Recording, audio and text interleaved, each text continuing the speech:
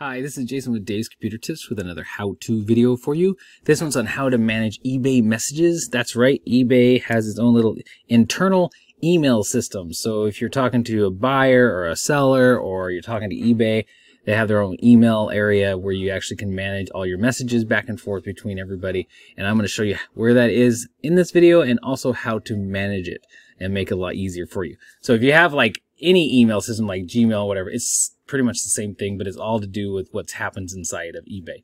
So I'm going to show you how to do that here in just a moment. Please, before we get going, hit the like on this video. It helps out our channel. Also hit the subscribe and the notification bell so you don't miss out on any new how-to videos.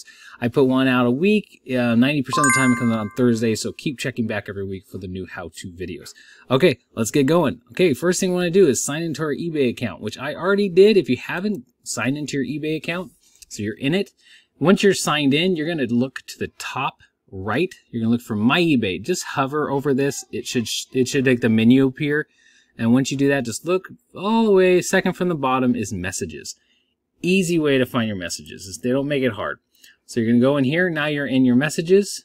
And once you're in your messages, this is where you get to manage it. So it's your inbox. You have from members, from eBay. But I, I just want to focus on all messages which works. So there's a couple things they offer here. They offer you to delete messages, you can archive messages, you can mark messages as, or move the messages to a different folder. You can even um, sort it by unread ones and ones you have flagged, which the flag is right here.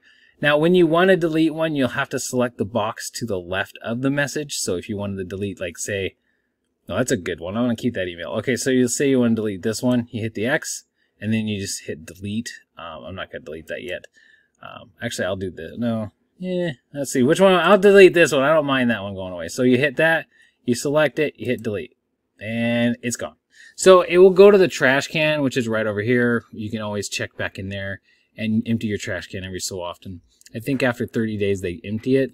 And then you also can archive things. So if you want to archive, let's say archive this, the um, check mark, hit archive, and it sends it to the archive folder which is right here if you want to check on anything you archived. So on the left side is your menu for that.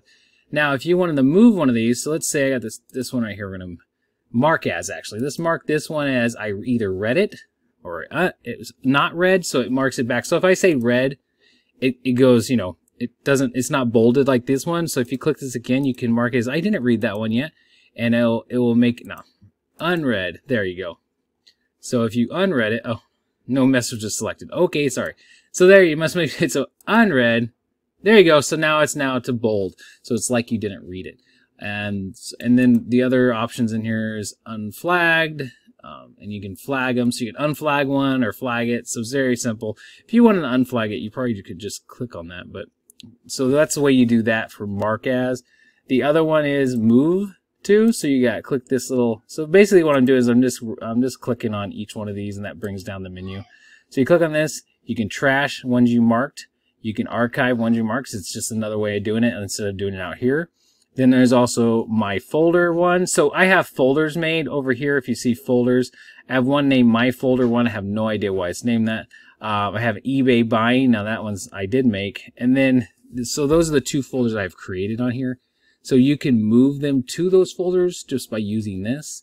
Um, you can save messages, which I'm not really going to go over in this video or you can trash them. So what we're going to do, let's do this. We're going to click on this one and I can move it to eBay buying. So there, now it's moved into that folder. So if you want to go check it out, you click over on the folder and it'll be done. So that's how you actually manage them. It's not a lot to it. Um, these are, you can sort it as received. You can sort it by subject or from items ended, which is basically like any email system works. It's the same way. So you, it's very easy to um, get a a grasp on it and you won't have to, it won't take you a very short amount of time to understand how to work this. Now, if you wanted to make a different folder, there's a little bonus for you. You can go over here and just add a folder.